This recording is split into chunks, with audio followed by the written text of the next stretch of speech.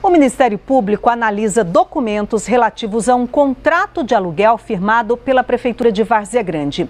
O município paga há oito meses o aluguel de um prédio que está fechado. O imóvel pertence a um ex-vereador. O prédio fica no bairro São Mateus, em Várzea Grande. Foi alugado em maio de 2019 e desde então está fechado. São dois mil reais pagos de aluguel por mês. O prédio está à disposição da Secretaria Municipal de Assistência Social e a contratação foi com dispensa de licitação. O prédio pertence a Matheus Magalhães. Ele foi vereador por três vezes, mas não conseguiu se reeleger em 2016. É filiado ao Democratas, mesmo partido da atual prefeita Lucimar Campos. Dulcerina Socorro é fiscal de contratos da Prefeitura de Várzea Grande.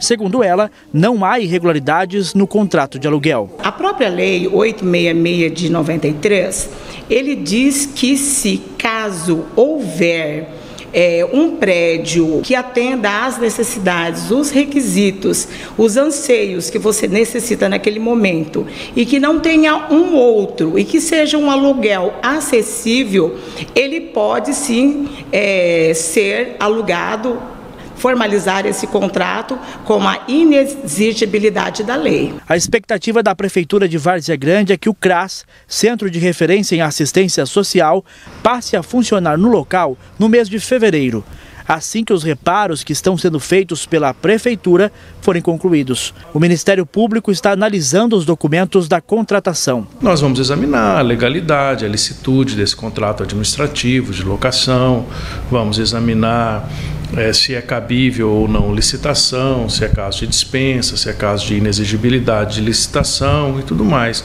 Fazemos uma análise jurídica é, bastante criteriosa em cima de toda a documentação que é apresentada. O ex-vereador Matheus Magalhães, que é dono do imóvel, não quis gravar entrevista.